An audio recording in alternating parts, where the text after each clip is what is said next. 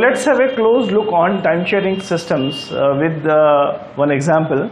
Here I have taken, there are four process and here there are the burst times, right? So what is the burst time? Burst time is the total execution time, right? What is the burst time? Burst time is the total execution time. So in execution, see, one more thing you should know, execution, execution time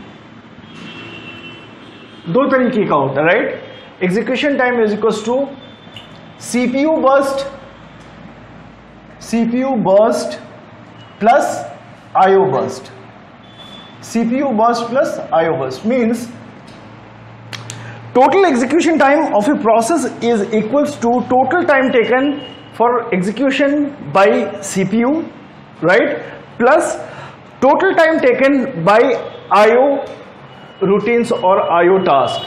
So the combination of these two burst time is known as total execution time. But in numericals when I will going to teach about process management there I will take burst time. Simple burst time means I am only taking about CPU burst time right. That means how much time does CPU has taken to execute a process completely. Here I have not taken the IO burst time, right? Fine. So, in my opinion, the concept of burst time is clear to you.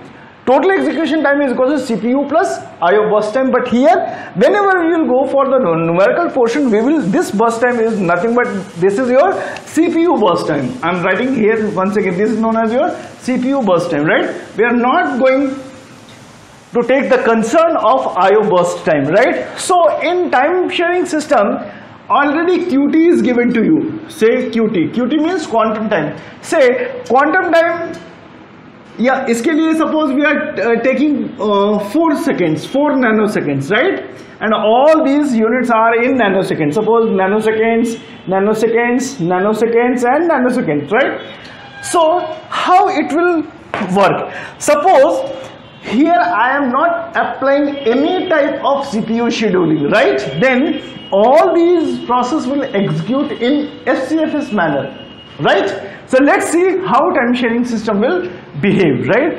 So earlier uh, I'm uh, making a chart right?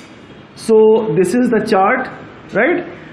So this will be your P1 this will be your P2 this will be your P3 and this will be your P4 okay fine right quantum time is 4 seconds. So when nothing was executed at at that time earlier it is 40 it is 60 it is 36 and this is 45 right? 45 good. Okay.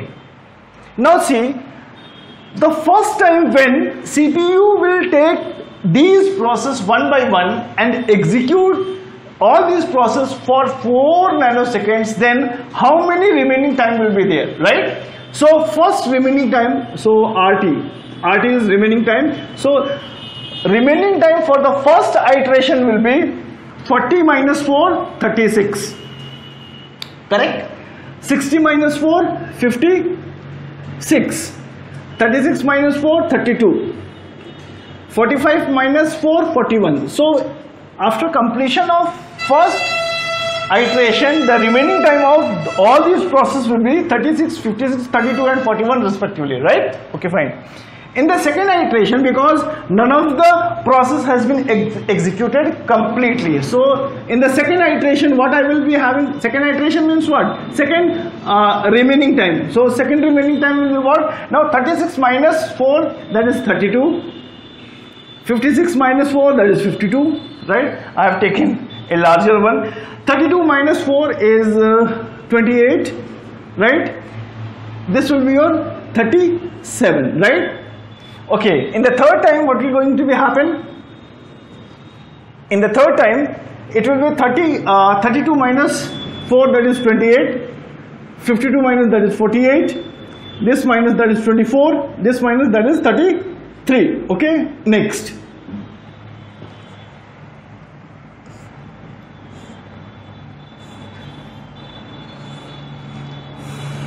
I am just making the tables and I'm trying to explain all these things right? This is the table. Okay. Say. So after 28 it will be your 20 say 4 this will be 44 right? This will be your 20 okay. This will be your 20 sorry 29 yes 29 okay next iteration it will be your 20 this will be your 40 this will be your 16 this will be your 25 right next time it will be your 16 36 12 right and this will be your 21 so slowly slowly you're uh, you're watching that the remaining time is being lower and lower. It is getting decreased and decreased. Next time this will be your 12 this will be your 32 yes 32 this will be your 8 this will be your 19 19 no 17 this will be your 17 next time what will going to be happen?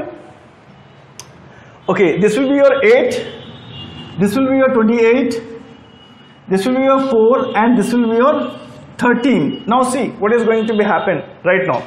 Okay next time what is going to be happen? That uh, this will be your 4 okay? This will be your 24 now this will become 0 this will become 0 that means at this point of time how many by how many iteration? Say this is your fourth one this is your fifth one this is your sixth one this is your seventh this is your eighth and this is your ninth. So after ninth iteration p3 will be terminated fully. Right after that what is going to be happen the cpu will be distributed among p1 p2 p4 only because p3 is vanished out completely right? So here this time it will be your uh, 9 but next time it will be your 0 see again in the 10th iteration p1 has completed its execution. Next will be your this will be becomes 20 it will be cross nothing. When cpu will not be given to it next it will be your how much? It will be your 5 right? Okay. So rest of the diagram should i make here?